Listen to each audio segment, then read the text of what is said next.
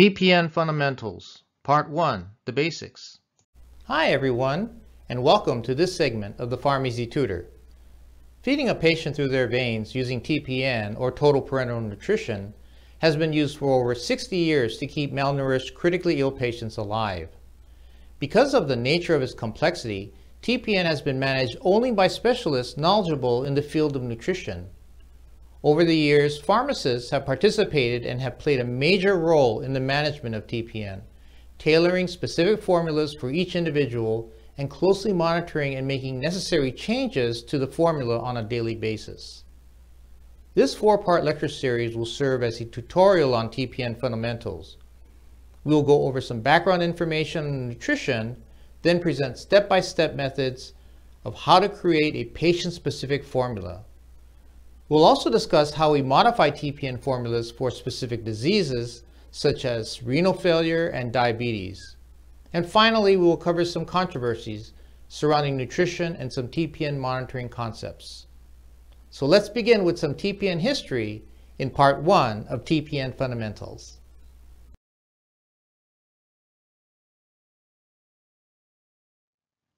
The developer of total parenteral nutrition was a surgeon named Dr. Stanley Dudrick. In the late 1960s, Dr. Dudrick noticed that even though operations on his patients were technically successful, many patients still died. He discovered that many of the deaths were caused by severe malnutrition.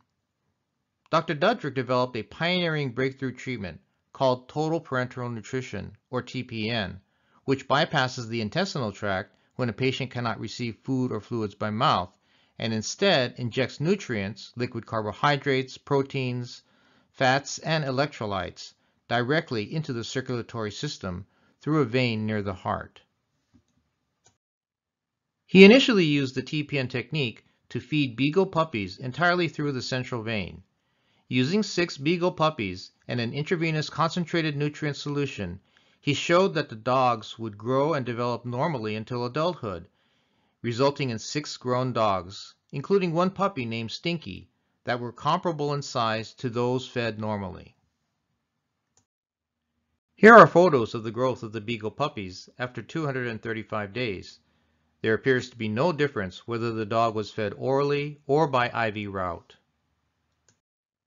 In 1967, he used the intravenous method on a three and a half pound newborn girl with a fatal small bowel deformity. By providing TPN, the child's growth and development proceeded for a year as if normal gastrointestinal function was present. Dr. Dudrick's first adult emergency case was a 52-year-old 5 foot 2 inch woman who had dropped to 49 pounds after stomach surgery. With TPN, in two months she was up to 79 pounds, and a month later she was sent home eating normally and weighing 100 pounds. Other developments resulted from these initial efforts. The Dudrick team demonstrated the technique of safe, long-term central venous catheterization, use of essential amino acids in renal failure, and using TPN to close small bowel fistulas. Malnutrition is commonly seen in patients before and during hospitalization. The incidence of malnutrition worsens over time in patients who require prolonged hospitalization. Malnutrition can be due to a number of factors, including a history of decreased spontaneous food intake before hospital admission, anorexia, gastrointestinal symptoms, depression and anxiety, and other medical and surgical factors. An association exists between moderate or severe malnutrition and a range of significant negative clinical outcomes. Malnutrition is associated with longer length of hospital stay, increased infectious complications, impaired wound healing, poor survival, and increased cost of care. Providing adequate nutritional intake will provide exogenous fuels to preserve lean body mass, optimize cell and organ function and wound repair, attenuate the catabolic and inflammatory response, and will reduce complications. The majority of statements in this lecture are based on guidelines and recommendations made by the American Society for Parenteral and Enteral Nutrition, ASPEN, a nationally known and respected organization. ASPEN is a nonprofit professional organization composed of multidisciplinary healthcare professionals. The mission of ASPEN is to improve patient care by advancing the science and practice of clinical nutrition and metabolism.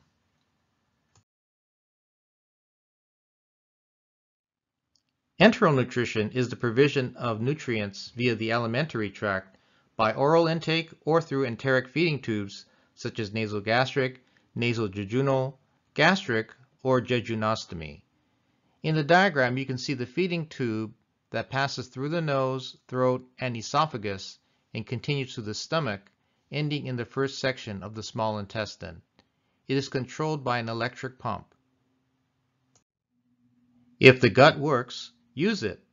In patients who have a functional gastrointestinal tract and who are able to receive adequate enteral nutrition, use the gut. Clinical practice guidelines and extensive data uniformly support the use of enteral nutrition via the gut as the preferred route of nutrition delivery over intravenous parenteral nutrition. In the majority of critically ill patients, enteral nutrition is the first choice of nutrition support because it is more practical and safer to use than parenteral nutrition. The beneficial effects of enteral nutrition compared to parenteral nutrition are well documented in the literature. Enteral nutrition provides more physiologically sound nutrients, better maintains intestinal mucosal structure and gut absorptive and barrier functions, results in a significant reduction of infectious complications, pneumonia and central line infections, is associated with fewer mechanical and metabolic complications and is less expensive.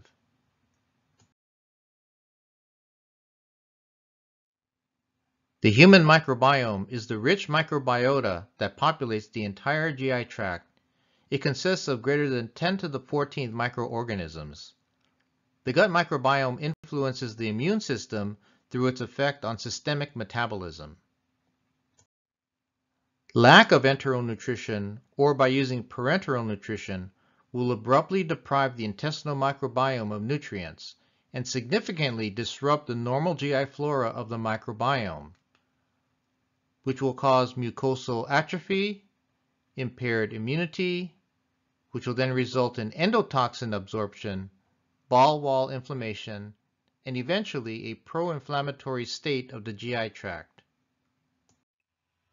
Providing enteral nutrition to the gut not only delivers macronutrients, but it also maintains the gut's structural integrity, reduces inflammation and bacterial virulence, modulates the systemic immune response, and assists with stress ulcer prophylaxis. Enteral nutrition preserves the gut barrier integrity by maintaining tight junctions between the epithelial cells, stimulating blood flow, reducing colonic bacterial overgrowth, and diminishing endotoxin and bacterial translocation. Here's a diagram of a healthy gut with tight junctions between the epithelial cells. When these epithelial cells become damaged, there is faulty tight junctions, which allows bacteria and toxins to translocate into the bloodstream and cause inflammation to occur.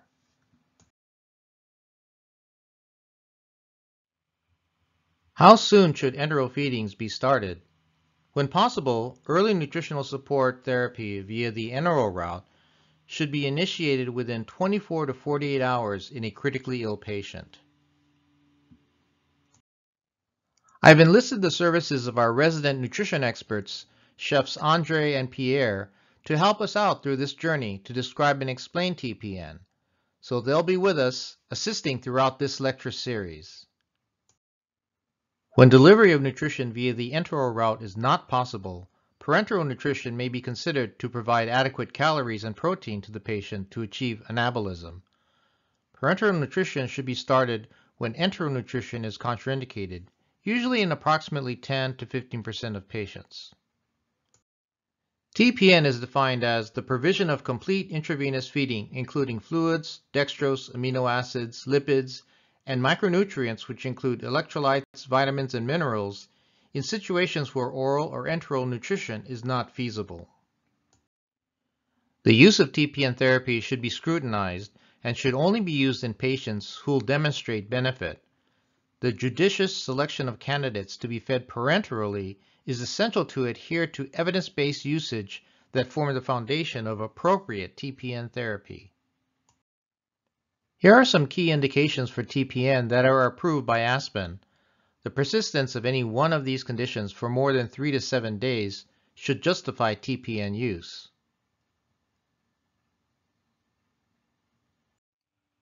When should TPN be started? Well, it all depends on the patient's nutritional status. For patients who have been unable to receive significant nutrients via oral or enteral route, in a well-nourished, stable adult, we can initiate parenteral nutrition after seven days.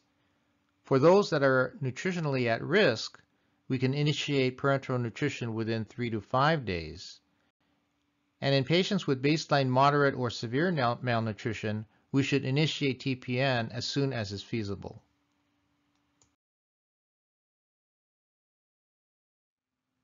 Let's talk about energy and protein requirements. We need to calculate how many calories and how much protein a patient needs per day. How do we do this?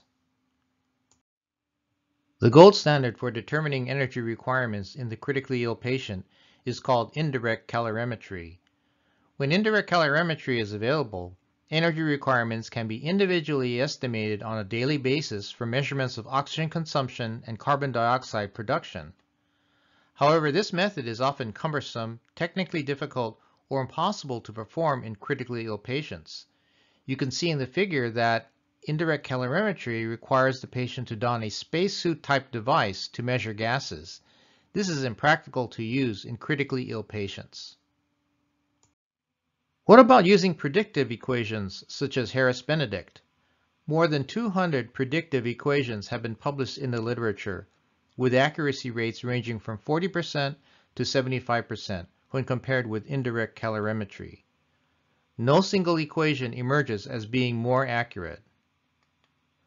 Predictive equations are less accurate in obese and underweight patients. Therefore, based on expert consensus, current recommendations for energy requirements for critically ill patients are 25 to 30 kcals per kilo per day of actual body weight. What about energy requirements for obese patients? Energy and protein requirements for obese patients are calculated differently. These are patients with a BMI greater than 30. This will be covered in part 3 of this lecture series. What about protein needs? Sufficient protein in higher doses should be provided. Protein requirements are expected to be in the range of 1.2 to 2 gram per kilogram of actual body weight per day. Recent studies in critical illness suggest that provision of protein is more closely linked to positive outcomes than provision of total energy.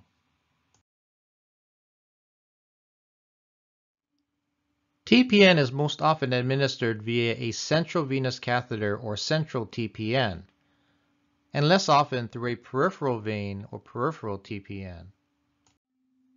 Central venous access can be obtained via the subclavian or internal jugular veins.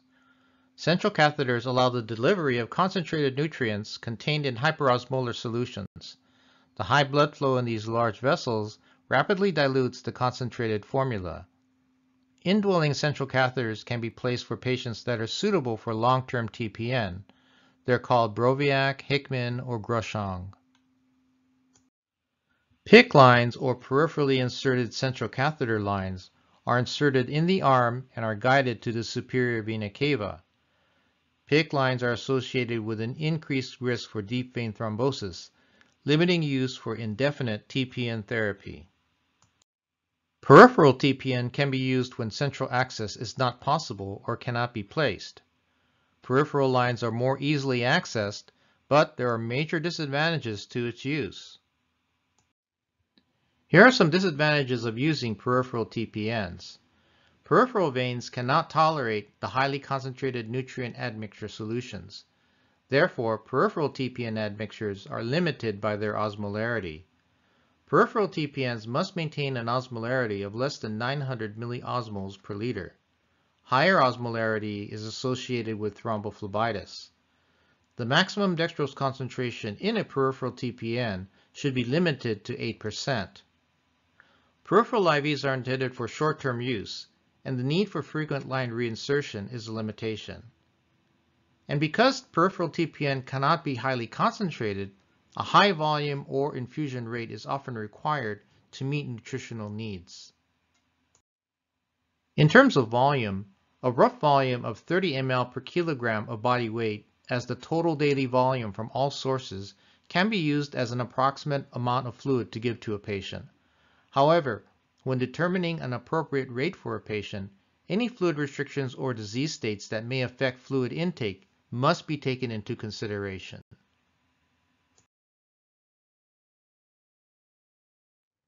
In summary, we talked about the history of TPN and the impact of malnutrition, using enteral feedings first if the gut works, the importance of maintaining a stable microbiome, appropriate indications for TPN and the different routes of administration, and how to calculate a patient's energy and protein requirements. Next up, discuss the ingredients of TPN, the macro and micronutrients and go over an example of starting a patient on TPN. Thanks for tuning in to watch this installment of the PharmEZ Tutor. I hope you learned something that you could use at school or in practice. If you'd like to continue to see more of these types of tutorials on YouTube, please make sure to click on the subscribe button below to change it from red to gray. Also, if you like this video, I would appreciate it if you can click on the thumbs up icon below to change the color to blue. If you have any comments or questions, please feel free to add them in the comments section below or share this site with someone else. Stay tuned to the PharmEZ Tutor channel for more lectures in the upcoming weeks. So until next time, remember to take it easy.